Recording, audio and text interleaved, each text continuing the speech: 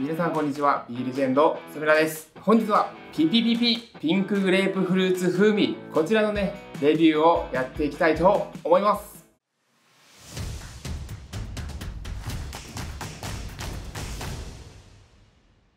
ビールジェンドのね、プロテイン、甘い系であったり、まあ、さっぱり系、こう様々なね、フレーバーの展開がございます。まあ、その中でもね、結構、もう個人的にも、さっぱり系のね、フレーバーね、すごく美味しいものが多いんじゃないかと感じているんですけれども、今回のね、こちらのピンクグレープフルーツ風味も、さっぱり系にブルーされるね、フレーバーかと思います。まあ、早速ね、これから飲んでレビューしていきたいと思います。で、こちらのね、プロテインご購入いただきますと、こちらのね、赤い袋に入った大スプーンが付属してまいります。こちらのね、スプーンにパウダーをすり切って入れていただくと、約ね 30g 計量できまして、タンパク質がね 20g 取れる設計になっております。ぜひこちらご活用ください。それでは、早速入れていきましょう。開封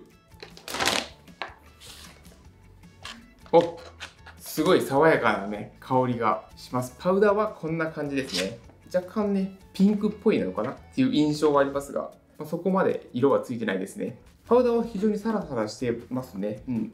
で、こちらね、シェーカーの方に水をね、本日 200ml 入れてきております。こちらのね、パッケージの裏面では、150から 300ml のね、量で調整してくださいって書いておりますんで、この辺の水の量はね、お客様のね、味の好みで調整してあげてください。濃いのがね、好きな方はね、水を少なくすると味が濃くなりますし、ちょっと濃いなと思う方は水の量を増やしてあげることで味をね、調整できますんで、その辺自分のね、好みの量、調整してみてください。それでは、いきます。このパウダー本当にサラサラしてね、溶けやすそうですね。入れていきます。よいしょ。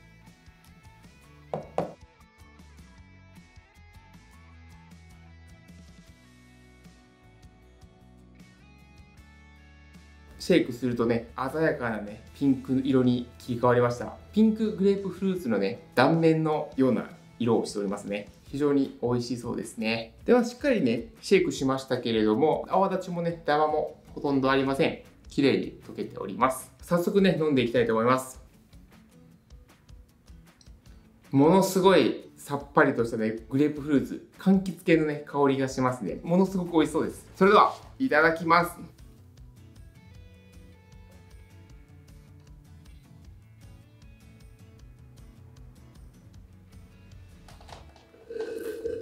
まいまものすごく美味しい。やっぱり酸味系ですね。さっぱり系はやっぱり本当に美味しいっすね。ビールジェンの作るプロテインってね。非常に美味しいです。もう本当にあの、グレープフルーツジュースですね。個人的な意見ですけど、ほとんどミルク感は感じないんで、本当にね、ごくごくとこう飲んでしまえる、さっぱりとしたね、フレーバーに仕上がってると思います。もしね、ちょっとプロテインのミルク感がね、苦手だっていう方はね、ぜひ試していただきたい商品ですね。ほんとそれぐらいさっぱりとね、飲んでいただける商品になっているかと思います。おすすめです。で、こちらのね、ピンクグレープフルーツ風味の栄養成分表示ですけれども、1食 30g あたりエネルギーが 118.5kcal、タンパク質が 20.4g、脂質が 1.5g、炭水化物が 5.8g、食塩相当量 0.3g、ビタミン C が 42.9mg、ビタミン B6 が 1.8mg、そしてこのプロテイン1杯飲むごとにクエン酸がね 1770mg 取れちゃいます。こちらのね、フレーバーは数量限定の販売と